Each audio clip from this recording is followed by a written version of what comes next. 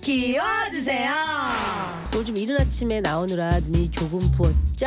음. 그래도 여러분들 만날 생각에 엄청 설레었답니다. 아, 저도 이른 아침에 일어났더니 목에 쇳가루가 잔뜩 꼈어요. 이해해주세요. 그럼 안 벗는 할때 진짜 힘들진 않았어요? 어, 무슨 말씀이세요? 어. 네, 왜 이걸 진작에 하지 않았던가라는 생각을 아, 했죠. 진짜. 거짓말하네. 사실 그냥 아침에 할 게 많아. 빨리빨리 넘어가야 그래 돼. 빨리 넘어가자. 되게 바쁘다고. 안 벗는 요정인데. 진행병 있어요. 네. 철팔미가 8월 갖고 왔어요. 쪽파. 검은 머리 파프리 될 때까지 하라 뭐 이런 의미 아닌가요? 아니요, 그 쪽파잖아요. 쪽파니까요. 쪽나지 않게 잘 아, 하시라고. 그런 네네. 의미로. 네네. 하나, 둘, 하나, 셋. 둘. 라임이! 말을 오지고! 말을 오지고!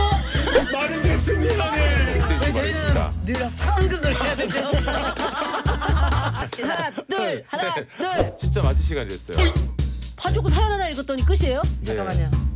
은희 요정님. 아, 네. 톤 조절하셔야죠. 미안합니다. 네. 제가 영철 씨만 보면 버럭하게 습관이 네, 돼가지고 네. 아, 오늘 생일날 좋은 날이니까 그러니까요. 3주년 정말 진심으로 어, 너무 축하하고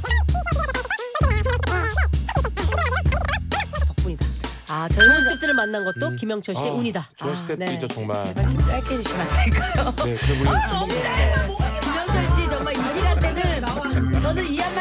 저는 이 시간대는 에러